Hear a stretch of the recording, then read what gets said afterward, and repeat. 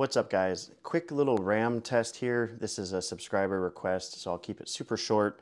I would have done it as a short, but uh, I really need landscape uh, video here. So here I have my uh, Mac Mini M2 uh, super base model, no change in RAM or hard drive. So just a real world non-scientific test here. I've got, I don't know, what is this, like 15 apps open at once, including, you know, Lightroom, Apple TV, uh, let's see, we're uh, Photoshop, Apple Music, go to Photoshop. I can go between them as fast as I want, no big deal. Uh, if I open the web browser, I have, um, I think about 20 tabs open. So I'm clicking through them as absolutely fast as I can.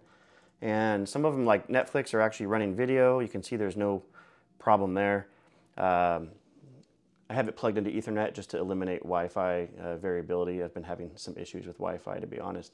Uh, but the computer's totally fast. I don't notice any lag for anything that, that I need to do. Um, again, not very scientific, but this is real world in my use case.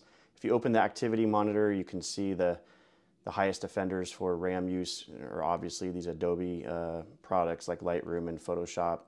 Safari, I just opened these all like within the last 10 minutes, so I don't know if the fact that it's cached makes a difference versus actually using it, but I've been using these tabs and not closing them and not experiencing any problems.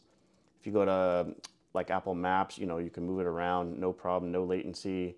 Uh, I'm not noticing any issues, guys. So unless you're like some super power user and doing uh, a ton of, you know, photo export video uh, work, then I would say for productivity and basic creative creativity stuff, this is going to be just fine for you.